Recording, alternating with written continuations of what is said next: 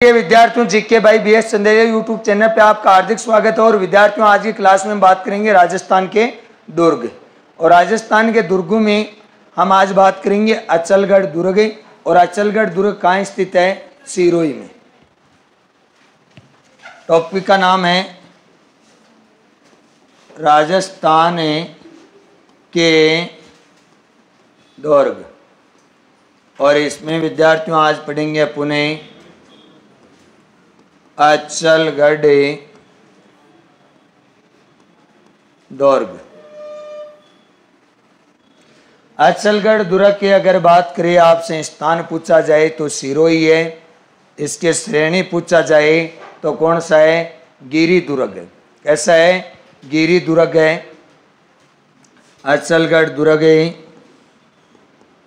स्थान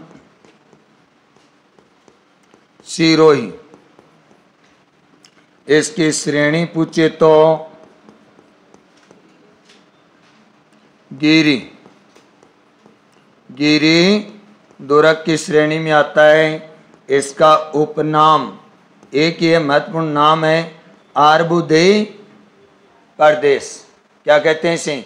आर्बुद प्रदेश या आर्बुदे दुर्ग के नाम से जाना जाता है।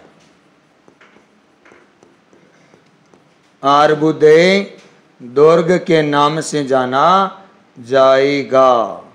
किसके नाम से जाना जाएगा? आर्बुद दुर्ग के नाम से जाना जाएगा। ध्यान देना विद्यार्थियों, अचलगढ़ दुर्ग स्थान सिरोही, श्रेणी गिरी दुर्ग, उपनाम आर्बुदे दुर्ग। अब इस दुर्ग का निर्माण किसने करवाया था? ऐसा माना जाता है कि प्रारंभिक निर्माण परमार शासकों ने करवाया था। फिर इस दुर्ग को वर्तमान स्वरूप प्रदान करने वाला था महाराणा कुंभा। कौन था? महाराणा कुंभा ने चौदह में इसे वर्तमान स्वरूप प्रदान किया था। महाराणा कुंभा को राजस्थानी स्थापत्य कला का क्या कहा जाता है? जनक के नाम से भी जाना जाता है। तो राजस्थानी स्थापत्य कला का जनक कौन होता है? महाराणा कुंभा को माना जाता है। ऐसी मान्यता है कि महाराणा कुंभा के काल में कलम, कटार और करनी को कभी भी विश्राम नहीं मिला था। कलम यानी लिखने वाली, यानी सर्वाधिक साहित्य का सर्जन किसके काल में हुआ है? महाराणा कुंभा के काल में हुआ है। सर्वाधिक युद्ध, कटार होती है ना कटार तो सर्वाधिक युद्ध भी किसके काल में ये है? महाराणा कुंभा की। करनी करनी आप जानते ही हो। जो कारीगर काम में लेता है ना सुनाई में, ठीक है? तो भवन निर्माण खूब सारी करवाई तो करनी कहाँ से रुकेगी? तो इसलिए ऐसी मान्यता है किसकी? महाराणा कुंभा की। प्रारंभ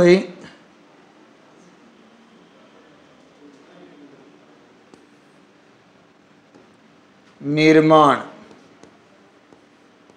निर्माण प्रारंभ।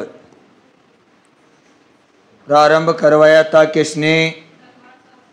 हाँ परमार शासकों ने परमार शासकों ने निर्माण कार्य प्रारंभ करवाया था। अब बात करेंगे विद्यार्थियों, वर्तमान स्वरूप। या पूर्ण निर्माण, वर्तमान स्वरूप। तो वर्तमान स्वरूप किसने प्रदान किया? महाराणा कुंभा ने महाराणा कुंभा ने वर्तमान स्वरूप प्रदान किया, कब किया?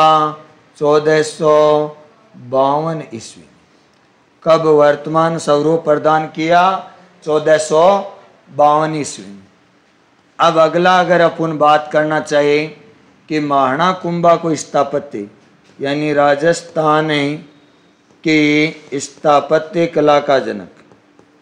स्थापत्य कला का जनक। तो कौन है विद्यार्थियों? महाराणा कुंभा। कौन है? महाराणा कुंभा को स्थापत्य कला का जनक माना जाता है। कुंभा के बारे में